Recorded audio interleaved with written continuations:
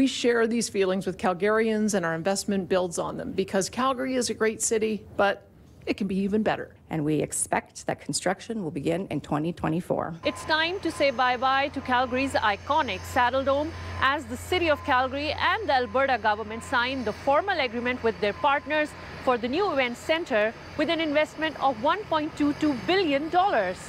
And as was the case in Edmonton with the ICE district, no provincial tax dollars will go towards the building of a new arena.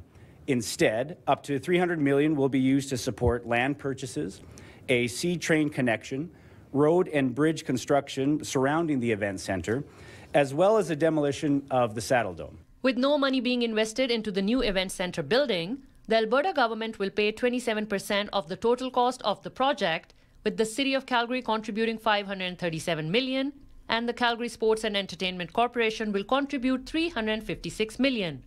And all this comes with a 35-year lease that includes a commitment from the owners of the Calgary Flames to stay in the city. I think it's important for Calgarians to be able to uh, root for their home team, knowing that they're going to be sticking around. I think it's important for the deal.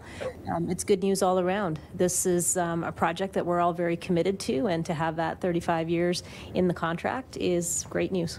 The city and the province say once complete, the Rivers is expected to create 1,500 permanent jobs and welcome an estimated 8,000 new residents and 3 million annual visitors to the culture and entertainment district. All good things but what about the demolition of the Saddledome and the flames? So that will be obviously the last uh, piece of this puzzle. Uh, we have to obviously build the first arena. The the hope would be by 2026, 27, the, the new arena will be built. The Flames would then be able to move into the new arena.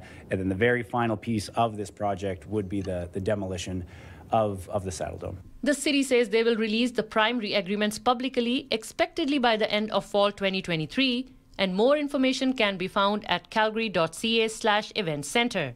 In Calgary, Henna Saeed, City News.